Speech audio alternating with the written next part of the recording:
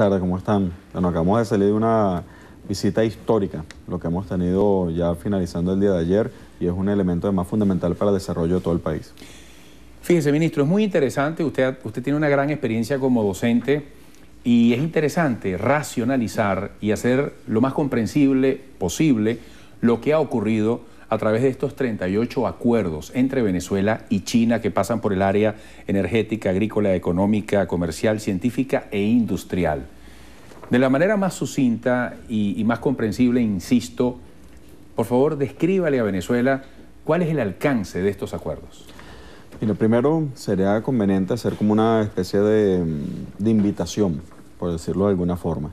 Estos son temas que son de unidad nacional, son temas que de alguna manera significan la posibilidad de desarrollo de todo el país y es sumamente importante que aquellas mezquindades, aquellos aspectos, si se quiere, desde el punto de vista de la politiquería, sean dejados de lado y nos dediquemos al tema de fondo, y es precisamente el tema del desarrollo del país.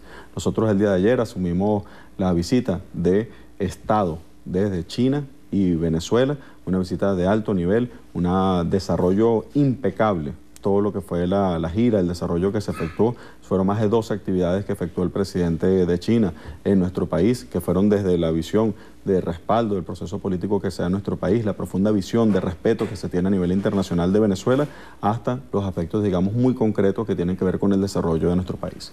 Tres temas centrales, podríamos decir, que a pesar de que son distintas comisiones donde se trabajó, tres temas centrales de alguna manera ilustran hacia dónde fue la perspectiva de los desarrollos que hicimos. Un primer aspecto tiene que ver con lo financiero. Venezuela es un país que tiene un profundo desarrollo desde el punto de vista de la credibilidad a nivel internacional, un país donde se tiene toda la visión de credibilidad de lo que se desarrolla internamente y por eso se acude a varios acuerdos del tema financiero. Un acuerdo tiene que ver precisamente con los recursos, los 4 mil millones de dólares que se ingresan al país precisamente para el desarrollo de los distintos programas de Venezuela. No es un endeudamiento como algunos pretenden plantearlo, un endeudamiento estilo Fondo Monetario Internacional o que lesione los intereses del país, no, por el contrario, es la venta de petróleo al precio del mercado y obtenemos de alguna manera, si se quiere decir, un pago adelantado de ese petróleo que vamos a despachar. Y eso evidentemente nos permite administrarlo desde el punto de vista del desarrollo de nuestro país. Es un primer elemento, la visión desde el punto de vista financiero. Pero adicional a esos recursos que ahí obtuvimos, también tuvimos recursos sumamente importantes otorgados a PDVSA, en este caso recursos por más de mil millones de dólares vinculados a la infraestructura y al incremento de la producción en el caso de PDVSA. Es decir, que una primera línea de acción tiene que ver una visión clara, contundente de cómo Venezuela es un país con profunda credibilidad a nivel internacional y se cree en Venezuela y ahí están las fuentes de financiamiento para el desarrollo de nuestro país. La segunda línea de trabajo tiene que ver precisamente con el desarrollo de lo productivo. Ahí estamos viendo, por ejemplo, en estas firmas que se efectuaron, no pueden pasar desapercibidos varias empresas mixtas que se suscribieron entre la parte venezolana y la parte china. Esas empresas mixtas, por ejemplo, son del área de agricultura, algunas de ellas vinculadas al tema de fertilizantes y agroquímicos. Eso va a ser con inversión tanto de China como de Venezuela, es decir, que no es un préstamo ni es ninguna otra figura, sino que vienen la parte china a invertir en el desarrollo de nuestro país. Hay una relación de 51-49 para desarrollo de plantas de desarrollo de fertilizantes, plantas vinculadas a fertilizantes. Otra muy importante la, la firmó el Ministerio de Vivienda con también unas empresas chinas vinculadas al tema de desarrollo de paneles de fibrocemento. Esto es muy importante para todo el tema del desarrollo de la misión Vivienda Venezuela. Estamos hablando que ya tenemos buena parte de la infraestructura instalada en Venezuela y eso nos va a permitir tener por lo menos la capacidad para 90 mil casas. Es un tema que de alguna manera empieza a verse lo concreto desde el punto de vista del relacionamiento. La primera, fertilizantes para el desarrollo del agro en nuestro país, para asumir la potencia desde el punto de vista de Venezuela. La segunda, para el desarrollo desde el punto de vista de las viviendas. Otra las empresas que se firmaron en el tema también, desde el punto de vista de empresas mixtas, tiene que ver con el tema de hidrocarburos, con el tema desde el punto de vista energético, y ahí vemos toda una perspectiva desde el punto de vista del avance de nuestro país. Y la tercera tiene que ver, digamos, la tercera perspectiva desde el punto de vista de avance es unos aspectos que hemos venido avanzando y el presidente Nicolás Maduro viene haciendo los primeros revisiones ya de lo que va a ser una visión concreta, está concebida en el Plan de la Patria y es precisamente esto, y es el desarrollo de las zonas económicas de nuestro país. Ya estamos viendo los primeros borradores, se está asumiendo lo que es todo el marco del punto de vista regulatorio, todo el marco del punto de vista de la planificación. Ahí estamos viendo, por ejemplo, zonas económicas que se van a vincular al sector de telecomunicaciones e informáticas, zonas económicas vinculadas al tema automotriz y de la industria intermedia, otras zonas económicas vinculadas a los materiales de construcción, otras zonas económicas vinculadas, por ejemplo, al desarrollo de la industria petrolera petrolera, todo lo que es la maquinaria para el desarrollo petrolero, sobre todo asumiendo la faja petrolífera en Venezuela. Es decir, que son tres líneas muy claras que se asumieron en el desarrollo de todas las mesas, de todos los acuerdos, el músculo de lo financiero para el desarrollo de la patria de manera soberana, el segundo lo que es el desarrollo de las empresas mixtas para apalancar toda la visión de desarrollo de nuestro país. Además eso da el traste con aquellos que creen que nadie cree en Venezuela si no se cree en Venezuela, porque se invierte en Venezuela? porque sean las líneas de financiamiento? porque ese respaldo internacional tan importante que tiene nuestro país? Y el tercero tiene que ver con esas líneas de desarrollo específicamente. Hay otros temas que ya podríamos ver en el detalle de cada una de las mesas, en el detalle de cada uno de los acuerdos, sobre todo asumiendo que todo el gobierno del presidente Nicolás Maduro, todos los ministros, más de 14 ministros, estuvieron ahí directamente en las mesas llevando pulsando la visión de desarrollo, de hacia dónde íbamos, con una profunda disciplina vinculado al desarrollo del plan de la patria. Fíjese, ministro, usted habla de la confianza que esto expresa de una potencia económica, además como China, en un país como Venezuela. Pero para aquellos críticos que han manejado la versión de que China se está beneficiando de manera enorme desde sus dimensiones económicas y sus proyectos, explíquenos y responda a esas tesis cuál es el ganar-ganar eh, ¿dónde está el equilibrio de la conveniencia y el beneficio de estos acuerdos? Bueno, primero, el, planteamiento resulta muy cínico y a veces inmoral que lo hagan precisamente de que, quienes promovieron los acuerdos del Fondo Monetario Internacional. Resulta muy cínico, resulta prácticamente que una burla a la memoria de todos los venezolanos. Vamos a decirlo de manera muy concreta, diferencias fundamentales que tenemos. Por ejemplo, en los acuerdos con el Fondo Monetario Internacional se imponía un paquete de medidas económicas, es decir, el Fondo Monetario Internacional decidía qué iba a pasar con el destino del país, qué iba a pasar, por ejemplo, con el combustible, qué pasaba, por ejemplo, con el salario de los venezolanos, qué pasaba con los precios, y a partir de una serie de condiciones que le imponían al país, decidían otorgar unos recursos. Por ejemplo, en el año 89 eh, se vendió el país por 4 mil millones de dólares. Eso fue lo que ocurrió y que posteriormente generó el 27 y 28 de febrero de aquel entonces, todos lo recordamos, liberación de precios, congelación de los salarios, el incremento de la gasolina y finalmente terminó precisamente en el 27 y 28 de febrero. ¿Qué diferencias hay con este momento? Bueno, estamos hablando primero que nada que no es un endeudamiento el que se está generando. Lo que estamos haciendo es vendiendo el petróleo y a partir de la venta del petróleo obtenemos como un pago adelantado de nuestros recursos y administramos soberanamente en qué queremos invertir esos recursos. Nosotros, por ejemplo, hasta ahora llevamos casi 44 mil millones de dólares que son parte de las 44 mil millones de dólares que son parte de la inversión que hemos venido efectuando y eso se traslada, por ejemplo, en todo lo que es el sistema de instalación de nuevas fábricas. Los venezolanos tenemos, por ejemplo, las primeras fábricas de computadoras y celulares que se instalaron en toda la región. Son precisamente acá en Venezuela. Fábricas de carros, acueductos, sistemas vinculados a los petroleros, sistemas vinculados a lo energético. Estamos hablando más de 242 proyectos que han sido financiados con los recursos de manera soberana de manera exclusiva y quién decide para dónde van los recursos, qué se hace con esos recursos. El gobierno de Venezuela, el presidente de la República, lo hizo el presidente Chávez y lo hace de manera soberana, con un profundo liderazgo, el presidente Nicolás Maduro. Pero vamos a verlo en detalle. Vamos a ver entonces qué es cada uno de esos temas ahí que se plantean y qué significa, por ejemplo, para el desarrollo de nuestro país. Estamos hablando, por ejemplo, que hay financiamiento que se otorga para la instalación de una fábrica de autobuses en Venezuela. Ahí están los venezolanos, se paran en una parada,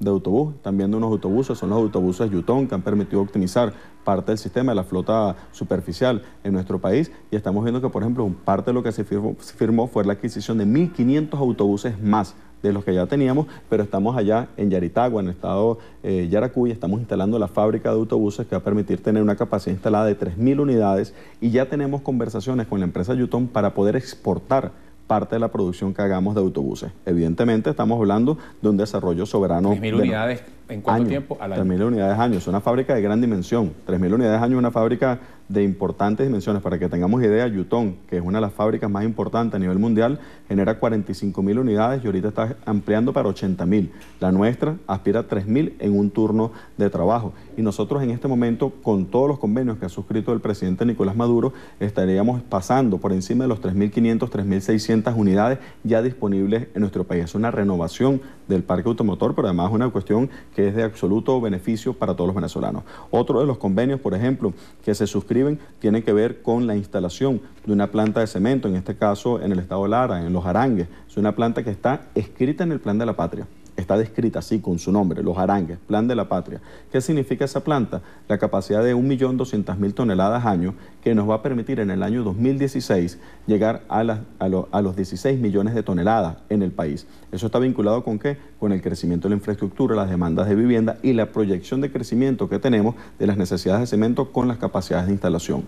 Nosotros en este momento, con recursos provenientes del fondo chino, estamos, por ejemplo, efectuando la ampliación de la planta de San Sebastián de los Reyes aquí precisamente en la región central y también lo que va a corresponder a la segunda línea en cemento andino. Solamente en esa inversión estamos hablando de más de un 30% de crecimiento de la capacidad de cemento en el país, precisamente asociado a recursos vinculados al fondo chino, es decir, inversión concreta con visión soberana desde el punto de vista de nuestro país. Otro tema muy importante, por ejemplo, se suscribió el día de ayer la construcción de 4.512 viviendas y urbanismo. Vimos como el presidente de la República inauguraba, daba vista de una parte de los urbanismos hay en Fuerte Tribuna, pero estamos hablando de una inversión de larga data y que ya lleva una importante cuantía desde el punto de vista de la construcción de viviendas. Son temas concretos. Nosotros no veíamos ningún financiamiento del Fondo Monetario Internacional que dijera qué necesidad social hay. Nosotros no vamos a preocupar de su necesidad social. No, aquí hay recursos de los venezolanos, son administrados de manera soberana por los venezolanos,